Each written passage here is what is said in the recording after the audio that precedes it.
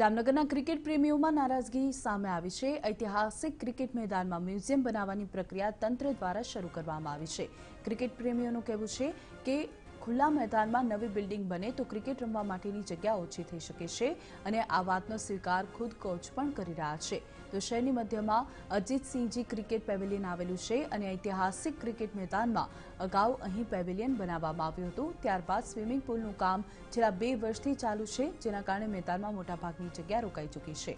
તેવામાં વધુ એક મ્યુઝિયમની કામગીરી શરૂ કરતા ક્રિકેટ પ્રેમીઓ પોતાની નારાજગી વ્યક્ત કરી રહ્યા છે.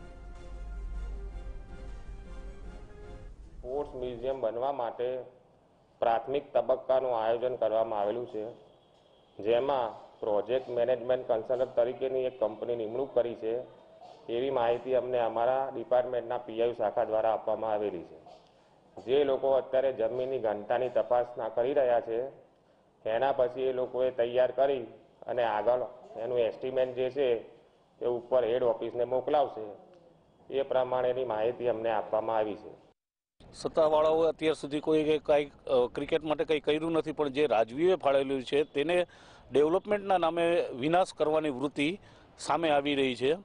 બે વર્ષ પહેલે સ્વિમિંગ પુલ બનાવી, જગ્યા રોકવામાં આવી, જેની જરૂર નથી તે એક પેવેલિયન બનાવવામાં આવ્યું અને હવે મ્યુઝિયમ બનાવવાની તૈયારી થઈ રહી છે, જેના કારણે જગ્યાઓ રોકાઈ છે, છોકરાઓની પ્રેક્ટિસ કરવામાં વિઘ્ન પડશે, ફર્સ્ટ ક્લાસ મેચ અહીંયા રમાઈ નહીં શકે, જે જામનગરને બહુ મોટું નુકસાન થશે.